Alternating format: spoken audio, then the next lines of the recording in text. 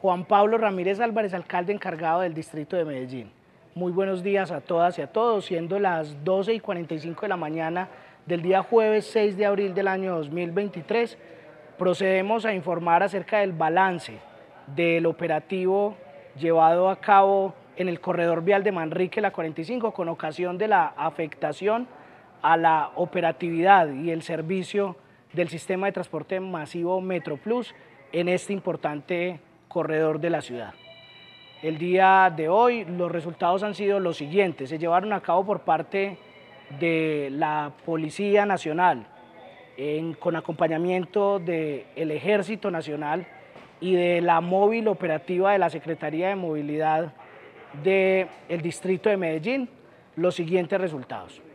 Eh, se lograron realizar 154 comparendos por infracciones al Código de Tránsito. Asimismo, 19 comparendos por infracciones al Código de Policía.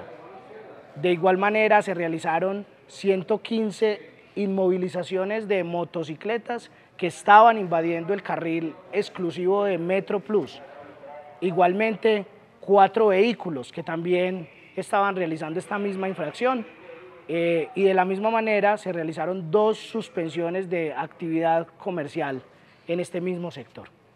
Seremos tan claros y tan contundentes como sea posible con estos operativos.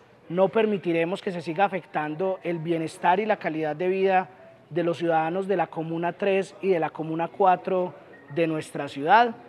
Y eh, así como nos lo ha pedido nuestro alcalde Daniel Quintero y como nos lo pide todos los días la comunidad en estos barrios de Medellín, continuaremos con los operativos y no vamos a ceder ni un milímetro para el desorden, para el descontrol y para el incumplimiento de las normas en este importante corredor, que no vamos a permitir que se siga inmovilizando y que se siga suspendiendo el servicio del sistema de transporte masivo Metro Plus.